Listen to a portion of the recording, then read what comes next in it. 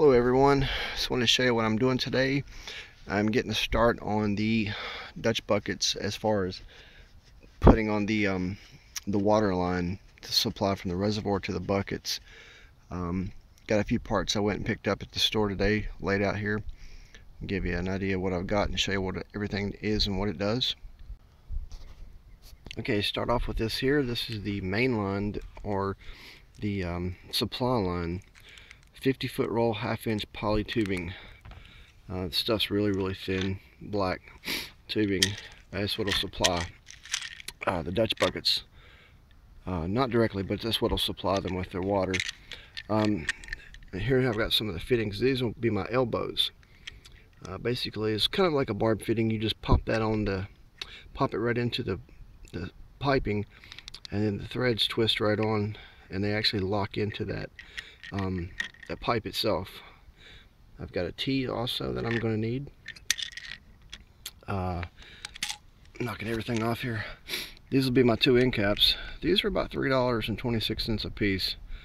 And if you actually wanted to continue on with something, you could. I've seen people just wrap the end of the pipe, crimp it, zip tie it. I just like a clean look and a solid. So, of course, that's what $6 and something to do that. So, zip tie crimping is a way to go. This here is my adapter that I had to get because what I've got here here's my um my fountain pump. Now I used to have an NFT system this three-quarter pipe going to it a ball valve here. So basically this is a a three-quarter coupler with a threaded half three-quarter to half inch threaded and that'll just pop right on here. And then this is where this is focusing anyway this this is where my uh, tubing is actually where it's going to start if you can see that. That's where it's going to go in. It's kind of hard to do with one hand but yeah that's where it's going to start and go in. And uh, from there okay and it's actually going to run down the back side of the buckets. And I'm going to strap it to the, the wood here with these uh, conduit clips and secure it in place as it runs down. Then next, of course, you've got the um, the punch tool, which will just go along and you'll you'll pop holes in this tubing, and then that's where this comes into effect. The quarter inch, it's called a quarter inch vinyl coupler, and I got a pack of uh, what was it, 15 of them. You see, they'll you'll pop this into the little hole here. I'll show you how I'll do this in a minute, but um, you pop them in the hole then here's where your people call it spotter line, quarter inch tubing, and that's what'll feed and drip into your bucket. So I'm gonna get some of this set up here and, and uh, show you how I do one of them. Okay guys, I'm gonna show you how you hook up your fittings with this poly tube, this half inch poly line. Um, not gonna be able to uh, do it all with one hand, so I'm just gonna give you an idea. You're gonna press that in there, then you'll screw it on. Okay, there it is. Actually, when you press it in, you'll feel it pop it, as far as it'll go back, and then you'll turn these threads a little bit and tighten it in. And uh, I guess I just really need to get a tripod going, but yeah, there it is. Very easy to put these fittings on. And uh, gonna just line this up here on the end like so, and I'll put that strap on. Okay, to give you an idea, got my cap on there, got my clamp going down the line pretty much what I did is did one every three feet. You can see as it comes on down here and I get to the end.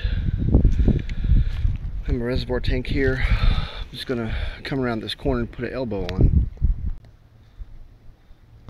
Okay, once again, here's this run coming down the backside. Capped on the end, coming straight down to this corner. Got my elbow in here. And uh, it comes right to the end here where I got a T. And from this point I'll go straight over to my reservoir. And from this point on I'll go on down to that next corner and go around that backside once I get that completed. I'm not even finished but just want to give you an idea and show you how I did all that. And um, I'll do one of the uh, drip lines show you how that goes together. Okay I'm here to tell you I'm actually kind of impressed with this little tool now uh, first I thought it was kind of Looks like five dollars. That was a little expensive to make that hole. I did see a video with someone using a screw to make these holes, but I just kind of, you know, it's my first time doing this. I wanted to make sure I made a perfect hole. Didn't want any chance of leaking. So, of course, you know, I did this. The cool thing about it is, this here is an actual clean out tool for your like misters, uh, spray nozzles. If you have any of those that ever get clogged, that's a clean out tool right there. Fits inside the handle. And also, apparently that this, this uh, tool uh, let me see if I can load one in here, actually holds your uh, T's, elbows, nipples, so that once you make your hole, you can use this tool help pop it in there. And even if you wanted to get this line lined up on it, so like say like you had it already, see it holds the line and everything, and the handle. So that's pretty cool. I did not know that. So yeah, thinking the $5 investment was a little bit, uh, a little bit more worth it now. Um, I'm gonna go ahead and pop this hole, and I'm gonna I'm not gonna do it on camera because I, I want to do this with two hands. This is the first one I've done. I don't want to mess it up. And and the thing about this, just so you know, you can get something called a goof plug if you put a hole and you decide to want to remove the line eventually and just cap it. So there's something called goof plugs that you can pop in these uh, holes that you make. Okay guys, that was pretty simple. It just pops right in, seats all the way down this little handle and uh, pull it right out.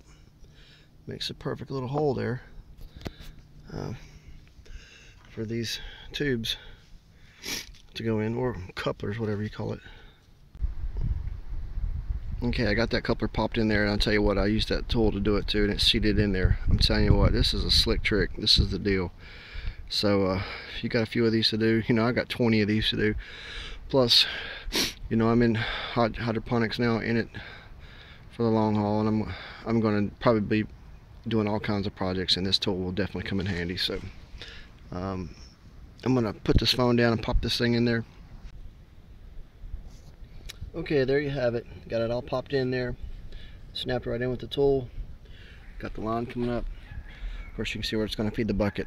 Um, I still got to cut my holes in the top. I started getting my perlite. I'm gonna I started getting the rest of my media, but I just want to go ahead and get this this one side done today. And the weather's kind of been uncooperative here lately. It's been it's gotten kind of cold. Um, but I uh, just want to get one. You know, I'm not gonna bore you and do every one on camera, but just give you an idea to show you how it's done.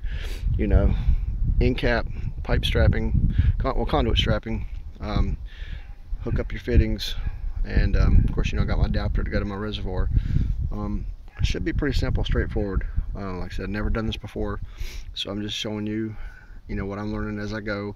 That tool is pretty neat. I'd recommend don't skimp out get a nail get a screw get that tool because I tell you it helps pop them right in. Um, not too hard to do but uh, that tool like I said if nothing else it's got the clean out tool for the misters and nozzle spray heads so it's pretty pretty neat I'm gonna get all this pretty much done I think I'm gonna paint some of these boards or stain them might put some plywood tops on them um, got the other side to do gotta dig a hole get that reservoir mostly buried. I'm gonna get a, a larger tank above it to help freshwater supply.